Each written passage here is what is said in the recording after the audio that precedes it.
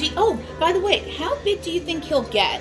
He's just gonna get um, wider, but his bone, his frame is this as big as he's gonna get. Okay, so like the He's neck. full this- grown. I, I can get three fingers in that neck thing. You think that'll be all right? Yep, that should be fine. Perfect.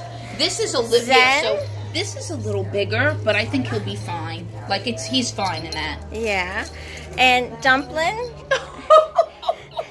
croissants on top of dumpling, and the little Yorkie is Ryder. How Ryder? Whoopsie. Croissant loves Ryder. He wants to play. Whoopsie. They're like really. He's Hi, really up, up in there. What are you doing, That's croissant. silly? Croissant is now adopted. His adoption day. Yay! My new baby! And we're here at Hunter Store with all the goodies in the Galleria Mall. All the goodies. Hunter Galleria.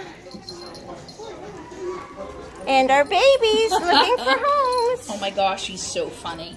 And the- he's just a love bug. Aw, Zen trying to give you And I gotta tell you, I don't know, he's he's